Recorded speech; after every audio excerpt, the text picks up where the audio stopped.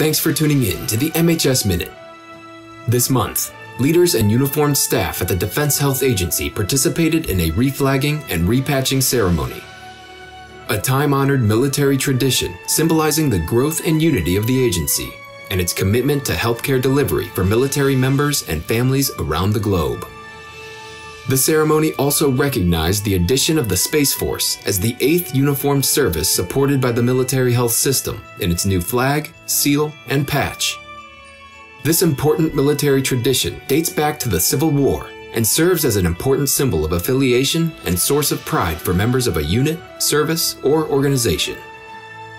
The unveiling of the new patch helps the organization adopt a more traditional military culture as it continues standing up regional healthcare delivery markets and transitioning oversight of military treatment facilities around the world.